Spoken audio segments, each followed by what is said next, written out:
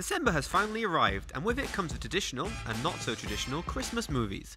And what better way is there to get through your family holiday than enjoying a festive drinking game? Get your eggnog. It's time for the Love Actually drinking game. You might be surprised to learn that this movie is set around Christmas. But don't worry, the film will remind you have a drink when you see a Christmas tree. You'll be watching 10 short stories in this film, and a lot of them manage to somehow link together. Drink when two or more of the stories cross over. With language barriers and awkward Brits, it's not surprising that there's a lot of confusion in this movie. Have a sip for every misunderstanding. Buongiorno, uh, Eusebio, uh, uh, uh, molto bueno.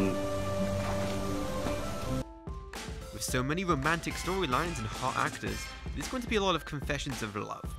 Drink when someone admits their feelings to someone else. With all this love floating around, you're going to see a lot of smooching. Drink for every on screen kiss. Getting weepy? The fix for that is more booze.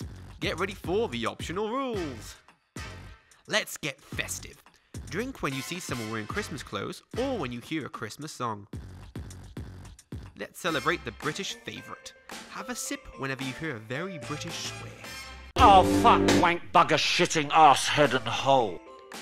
Thanks for watching. If any rules you wish we had included, please comment below. Our team of highly trained Christmas elves will be sure to check them out. As always, like, share, and subscribe. And if you want to keep up to date with Mixers as it comes out, click on the notification bell. And Maddie, you're gonna be alone this Christmas.